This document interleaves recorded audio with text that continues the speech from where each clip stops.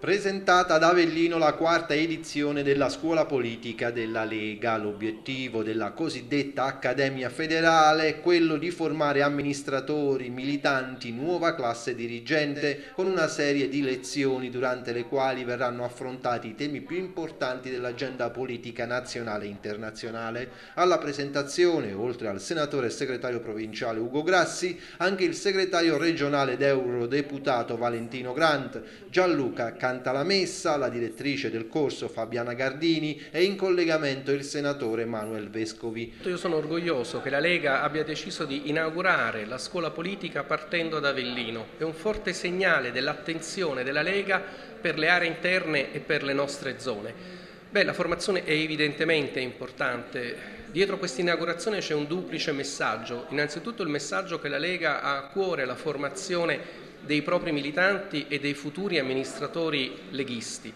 ma soprattutto c'è anche il messaggio secondo cui la politica non si improvvisa. È vero, tutti possono fare politica, ma si può e si deve fare politica soltanto dopo un'adeguata formazione. Dunque la Lega riparte dalla formazione, senza però dimenticare i prossimi appuntamenti elettorali a partire dalle provinciali. Il centrodestra si presenterà sicuramente unito la Lega è il fulcro del centrodestra, dell'alleanza di centrodestra, dobbiamo ancora studiare le migliori strategie, ma siamo già assolutamente d'accordo che solo uniti si vince.